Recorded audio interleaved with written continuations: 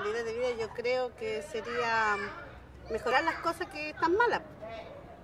Por ejemplo, el agua que está contaminada acá por el arsénico que hace mal a la salud de las personas, eh, los delitos, la seguridad, eh, la salud,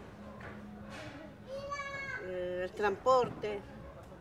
Generalmente yo creo que varias sería todo una este global, porque de una manera u otra afecta la calidad de vida a las personas.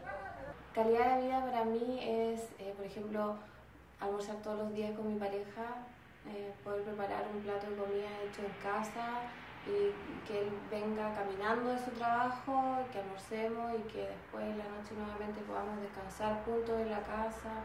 A mí eso es calidad de vida. También tener contacto familiar. Yo todos los fines de semana veo a mi, familia más inmediata, mis padres, mis hermanos, mis sobrinos. Eh, compartir en familia también es calidad de vida para mí.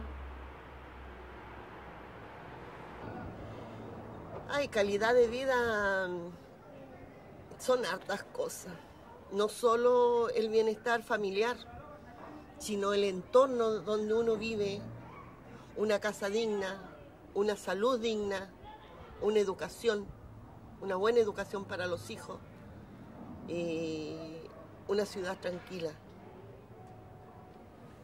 Y, y hay hartas cosas, sí, es una... eh, la calidad de vida es un, un ámbito grande porque podemos tener una linda casa o un, un buen matrimonio, pero a lo mejor el entorno no es bueno.